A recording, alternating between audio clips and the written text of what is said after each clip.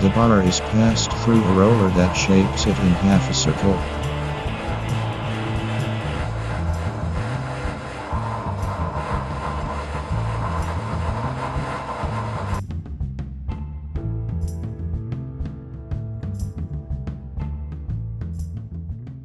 I use a steel draw plates with half round holes to reduce it to the size I need.